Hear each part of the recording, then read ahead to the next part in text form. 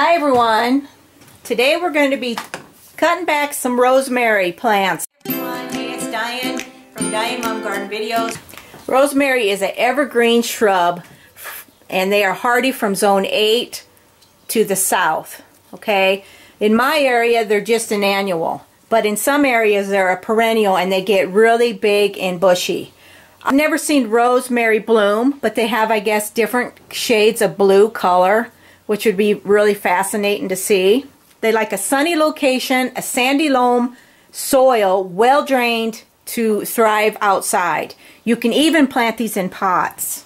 They like six to eight hours of sunlight. They thrive in humid locations. That'll do great here because we got humidity.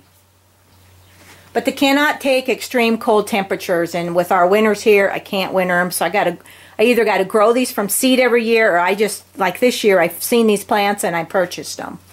Did you know that rosemary repels flies and mosquitoes? Did you know that? It's an interesting fact. As you see, I'm just going to be trimming these back. Just take them and cut them back above the, the two leaf sections. This will help your plant come in much fuller. It will make a much better looking plant. Since they have such a pungent smell, they drive away bugs, including the cabbage moths, which is really, that's a really interesting fact. I use them for cooking. I love putting them on our beef roast. Excellent, excellent. Adds really good flavor to them. So this one, as you can see, I'm going to be cutting this back right here too. Just take and trim it back. And these are all the side shoots already. We're just going to do some cutting. And I will dry these. Um, I did put some fresh the other day, and that was very, very good. But we're just going to trim this all down. Not going to put them outside yet because we got some cold weather coming. But see, you go from this to this. These guys really thrive in hot, dry weather. And you can see where I'm cutting. But I'm cutting them pretty good. I'm giving them a really good haircut. I just love the smell of rosemary. so strong. So look at that. That looks, it's going to grow in nice and pretty and full now. Got one more to do. Hi, buddy. Can you see I got a friend? Does it smell good? Check that out. Does that smell good? So I'm just going to continue to cut here.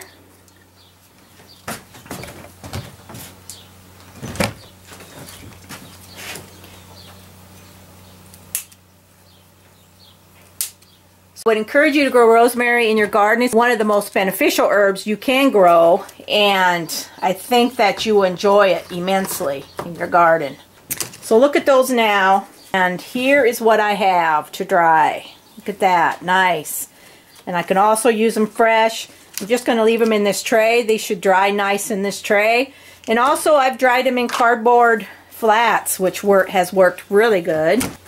So if you're ever in doubt of how to trim your rosemary, this is how you can do it. These aren't even in the garden yet, but they will be within within the next couple weeks. I'll have them in my garden. I'll be making an herb garden. And I think this will be fun. I just wish they wintered here. That would be ideal, but they do not. They can be brought indoors though in a sunny window and that is something you can think about also putting them in a sunny window indoors if they do not winter in your area. But oh boy, so smells so wonderful. I hope this does get you thinking about growing herbs I hope this encourages you to trim back your plants and they're very easy it's very easy to do and you can dry these put them in a jar put them up in your cupboard in the dark and you can use them for whenever you whatever you want to use rosemary for I know people use them with chicken too and I've done that also so thanks so much for watching. Give me a thumbs up if you like this video. I appreciate you watching and we'll see you on the next video. Bye-bye.